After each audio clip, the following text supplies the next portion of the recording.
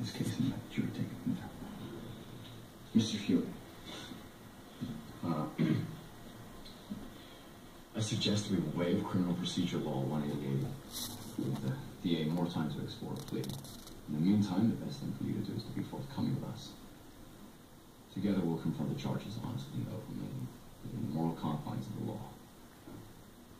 Does that sound good to you? No. Excuse me? I want the 188 date. If I'm indicted, which we know it will be, we'll waive all hearings and discovery and go directly to trial. Not my first rodeo, remember? He doesn't know I'm recording him. gonna have faith in our judicial system. And you're gonna do your jobs. That's simple. That's simple. And Aww.